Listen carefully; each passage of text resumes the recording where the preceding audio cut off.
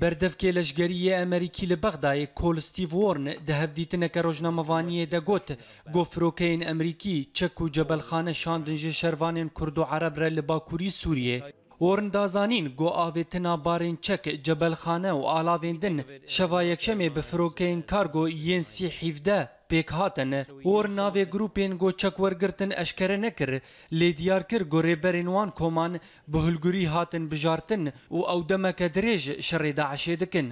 Avêtina çekan di demekê de hat gorêveberiya Obama hefteya borî bi fermî ragihand ku Amerîka dest ji programa rahînerkirin û çekkirina dijbirîya Sûrî ya bi buhaya pênc sed milyon dolar bi rê ve dibe.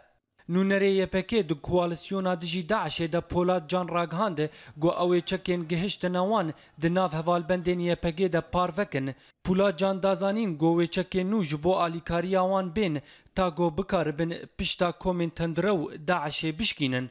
Pispor dibêjin YPG û hevalbendên wê û bi piştgiriya hevpeymaniyê Dê di demeke nêzîk de operasyoneke berfireh bo rizgarkirina bajarê Reqayê pêk bînin ku wek navenda rêveberina DAIŞ'ê tê nasîn. Wisa çavên gelê Sûrî û welatên desthilatdariya mezin di cîhanê de ber bi Reqayê ve diçin. Her wiha hêviyên xwe didin nîşan ku kelmoza DAIŞ'ê li Sûriyê biherife.